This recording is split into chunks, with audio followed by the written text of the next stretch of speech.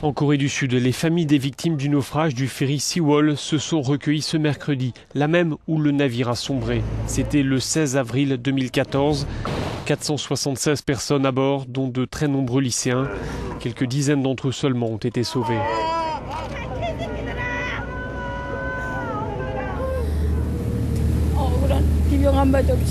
Être là me permet d'imaginer ce qui a pu se passer ce jour-là lors du naufrage.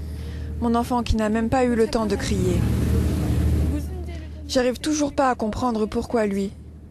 Qu'est-ce qu'il avait fait pour mourir ainsi?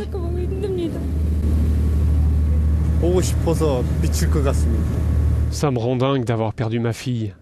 J'arrive pas à m'en remettre. Elle me manque tellement, sa mort m'a dévasté.